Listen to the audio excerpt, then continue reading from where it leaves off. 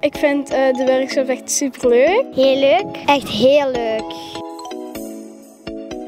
Dat we nieuwe dansjes van TikTok leren, die we dan later kunnen gebruiken. Heel leuk omdat ik het samen met mijn uh, vriendinnen kan doen. Ik hou heel veel van dansen zelf. Ik heb ook al heel veel TikTok dansjes gemaakt.